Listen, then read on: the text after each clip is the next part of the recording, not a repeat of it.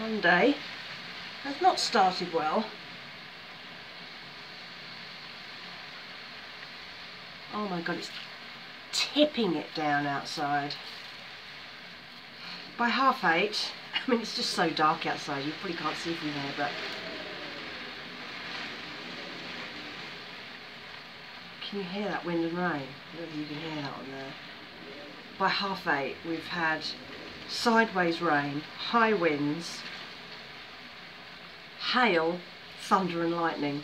It's been absolutely horrific. And I really wanted to get outside today, but it's just torrential. I think the highlight of today is going to be this smell. Oh my god, this is so good. I got this for my birthday. Um, I don't buy luxury things like perfumes.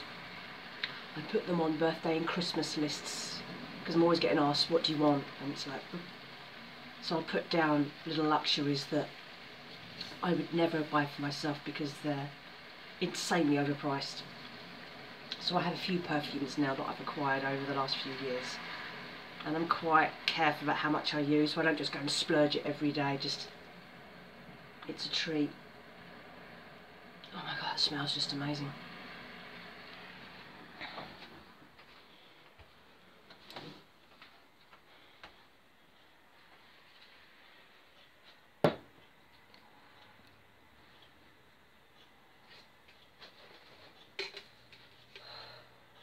Got put the light on. Look at this. Look how dark it is. It's ridiculous. It's like the middle of winter out there. Um, this morning's coffee was two of these. So I did in my food, um, my food audit the other day that I had some of these coffees which expired last year and I might as well use them. So I've got uh, I've got a vanilla flavour Starbucks. I'd never pay for Starbucks. These were all free. I've got a what's this one? That's just a coffee with milk from Starbucks. And I've got two of the chocolate flavour ones. You should have chocolate coffee for breakfast, really should you? And I had two of the Minor Figures ones. I quite like Minor Figures as a brand.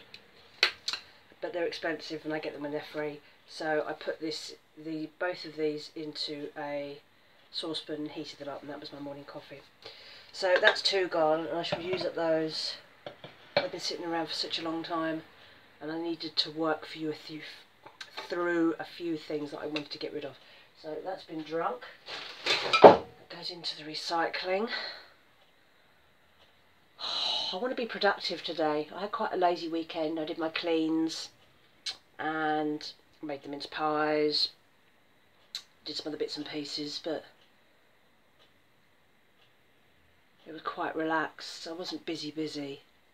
And I wanted to at least get outside and have a good walk today, but it is just horrific out there. Show you how dark it really is. Look at that. front room. Look at it. Oh my goodness. Oh dear. Slightly better in the window. It's like my front room window is really the main place where I record because it's the best light. And I quite like standing up when I record and it's why I'm often distracted when I'm recording and I'm looking elsewhere because the street is below and I'm watching people go past. I'm not very good at staying focused. Looking at the camera and it's not even like I'm looking at you. I'm looking at me and I don't want to be doing that. I don't want to look myself in the eye. And I always forget where to look. The camera's there. I know it is. But I always want to go for the face. When I have the camera around the other way you're not sure whether you've moved and you've chopped your head off or whatever. So, this is how I record. I'm an amateur, and who cares? oh my goodness. There's a pigeon out there trying to fly, and it's going against the wind, and it's getting thrown around in the wind. It's horrible out there.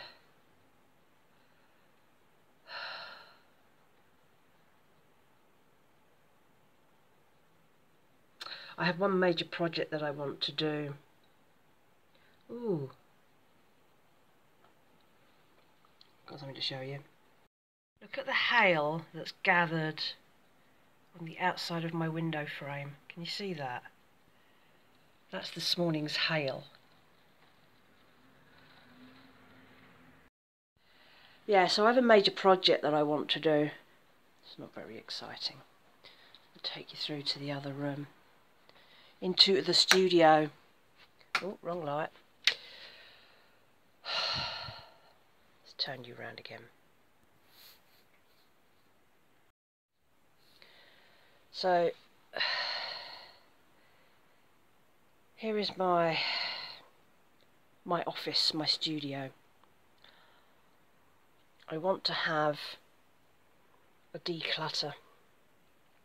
This rail is really annoying me. So I put this up temporarily to put all the vintage stuff on that I brought back from my friend.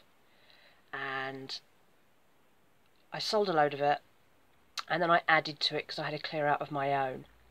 And I thought I'll stick it all on a separate rail and then I'll know what I've got. And now it's just sitting there being annoying because I don't have an awful lot of floor space in here as you can tell. Um, I don't do pattern cutting because I just don't have the space. So, oh, let me turn you around again. So, yeah, so that rail is annoying. You can see it just down there. That's the rail there. And it's just, oh, look at the glare from that light. I hate having lights on.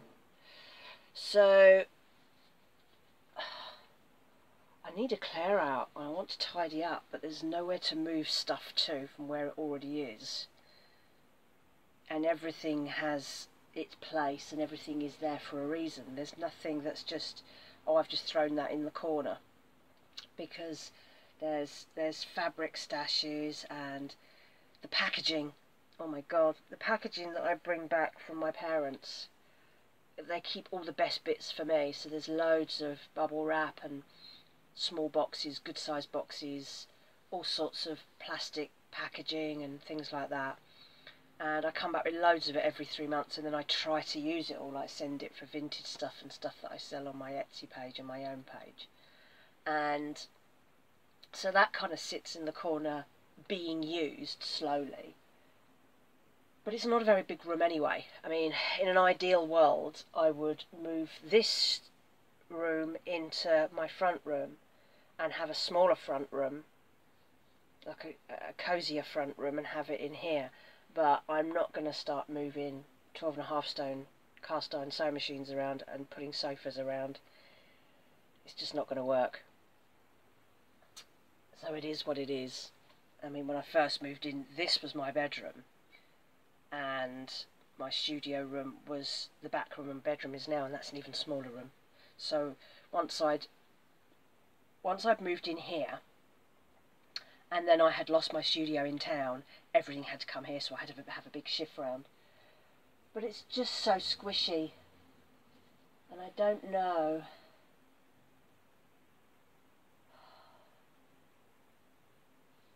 I don't know what I can do to change things around. I can move the tall boy around. See that? I could swap the tall boy with the rails, but that's what's that going to achieve? It's just in a different position. I could clear some of these shelves, but these are all full of stuff. This is all haberdashery. That's all haberdashery and stores of stuff uh, stores of stuff at the back there. The windowsill has become my new storage space. I won't say new, it's been like it for ages. I put some plants in here the other day because now the weather's changed. See that I've added some greenery because it makes it a bit more creative space. But um, look at it. This is is my windowsill. This is a board that I rescued. I was talking about rescuing things off the street the other day. That is a board that I rescued that was a perfect fit for this and create some extra shelf space. Um, I don't like this being here, but I had nowhere else to hang all these reels.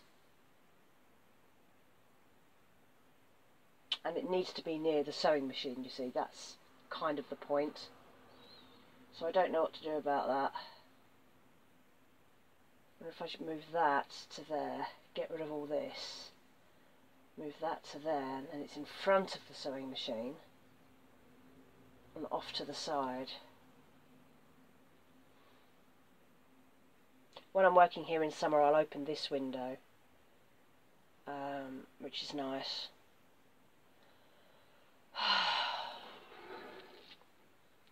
Springtime for me is often about it's like a nesting thing, it's like a spring clean thing, and I like to move stuff around, and I do get bored with the way things are laid out.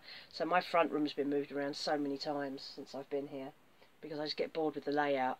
The layout as it is now is pretty much how it will stay, I think, because there's only so many ways you can move a small room around. But I wish I had more storage space. I've got a recess, you can see that. So this is the recess, where this is the recess over the stairs and in there is I've got suitcases that used to be where all my fabrics were stored until I got my tall boy back. Now they're I think they're just full of packaging. All the fabrics are now in the tall boy. But this is all packaging that my parents have given me. So everything is there's some spare fabrics in there. But all this is packaging packaging, packaging, packaging, spare boxes. And I might just need to go through and just consolidate it a bit more. Um, it just, I dare get rid of it because that's not the point of what I'm doing here. I want it to be, you know, I want to reuse packaging and stuff like that. But um, maybe it'll just make me feel a bit better about it if I just go through everything and then just re repackage it so it's a bit neater. But there's a lot of good boxes in there and a lot of paper wrap, a lot of jiffy bags. And it saves me a fortune across my businesses and means that I don't have to charge customers for packaging.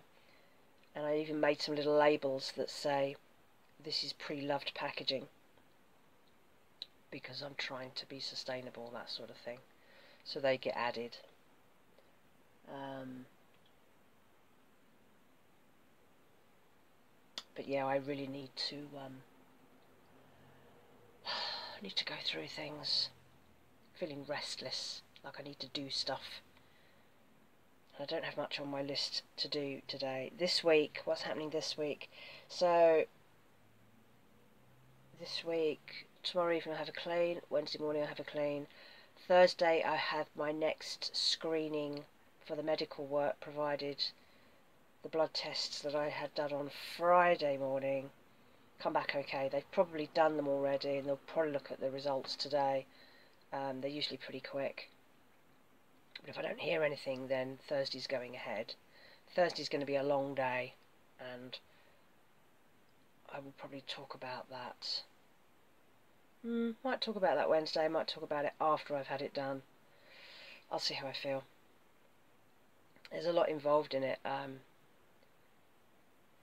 but I know I know what's involved. They've already told me it's not like they're going to spring any surprises on me. But um, yeah, so I don't know. I'm in a weird, restless mood. I need to have a look at my lists of things to do.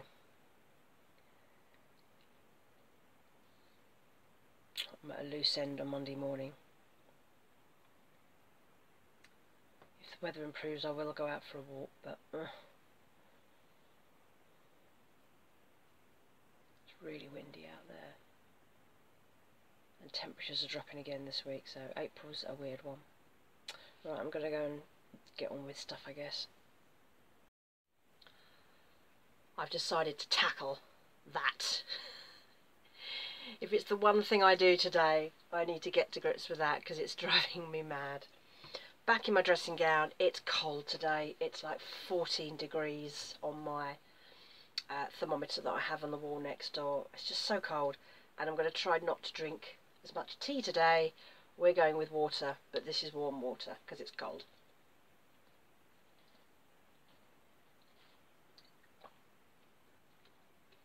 So let's get started and see what we can do.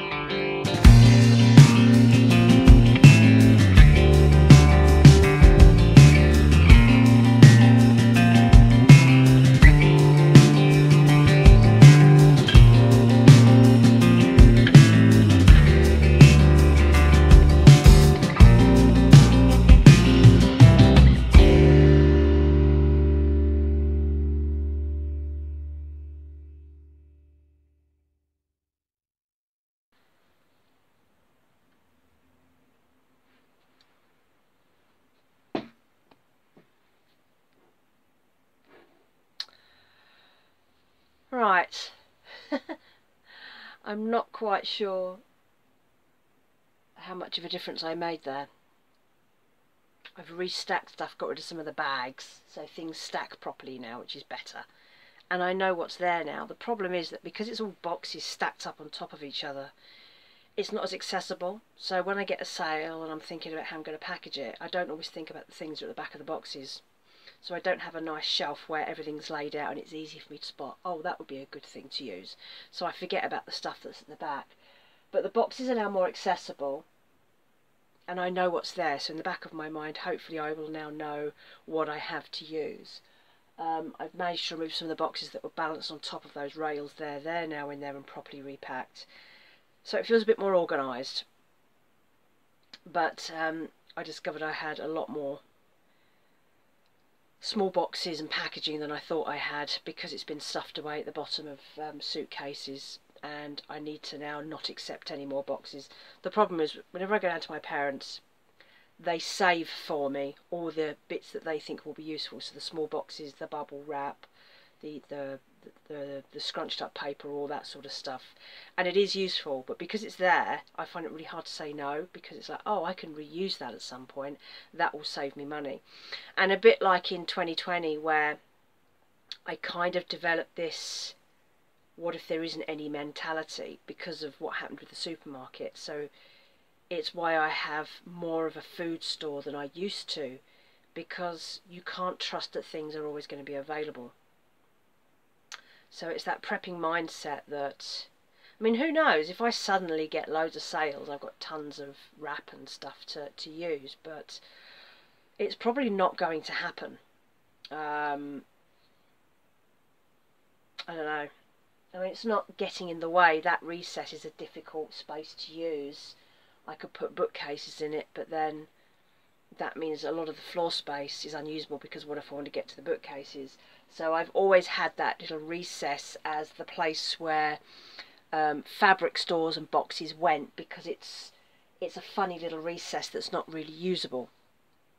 What I should really have is a nice big curtain across the front of it so I don't have to look at it. Um, but at least I know what's there now. It's all useful bits and pieces. And if I had a high volume of sales, I would go through that in no time, I should think, because it's all really good, useful, presentable, customer presentable stuff. There's some nice boxes in there, lots of funky paper wrap and things like that. So it's all useful. It's just I don't have the level of sales to justify having it all, but I just can't bear to just throw it all away. Because the whole point is that it gets reused and not thrown away. I could start up a a, re, uh, a, a packaging recycling repository which would be great except how would I make anything out of that if I was giving it out to other people?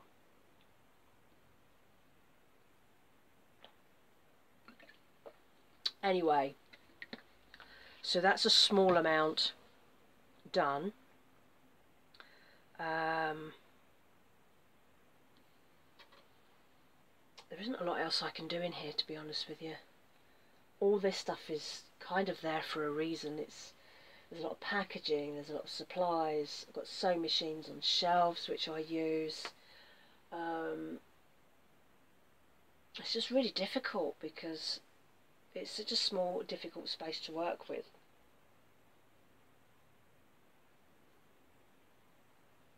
I want to get rid of this rail of stuff. I put a load of my vintage prices down yesterday just to get rid of stuff because it's like, ugh but it's really hard to sell stuff on Vinted. People just don't want to pay. Um, and the problem is because the postage costs are high, even if you like list an item for a pound, it might cost them an entirety of about six pounds because the postage goes on top. So you think you've only made a quid, but they've spent six or seven quid in total. And very often I think go to Primark and get it cheaper. I mean, I don't even know what Primark prices are like anymore. I haven't been shopping in a clothing shop or, or even browsed in a clothing shop since pre-pandemic. So I don't know how the prices have really changed. Um, I would say Vinted is cheaper than Etsy. It's cheaper than eBay. buying and selling, I would imagine.